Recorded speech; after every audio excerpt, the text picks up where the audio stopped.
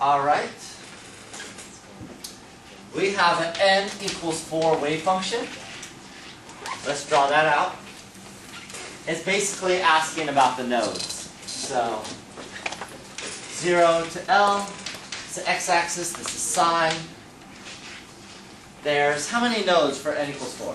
Three. Three. One, two, three. There it is.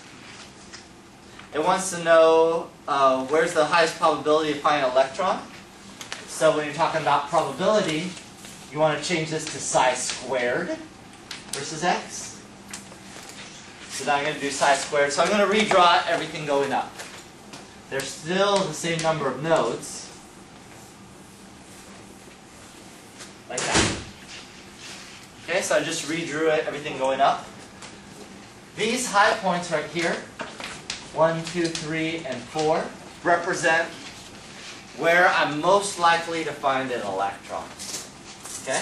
So actually I wanted those points on the axis.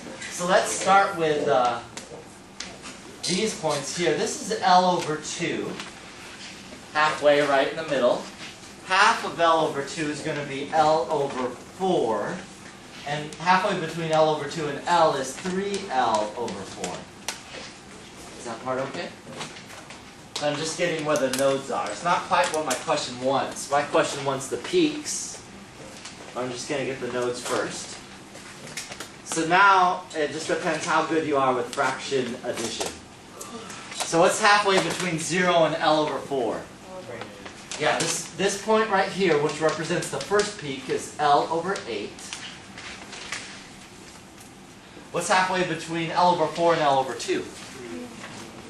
3L over 8. So this point right here is 3L over 8. L over 2 and 3L over 4? Yeah, this is going to be 5L over 8. And the last one, 7L over 8. So your peaks are all on those points, and you'll see this is a multiple choice question. It looks like it's C.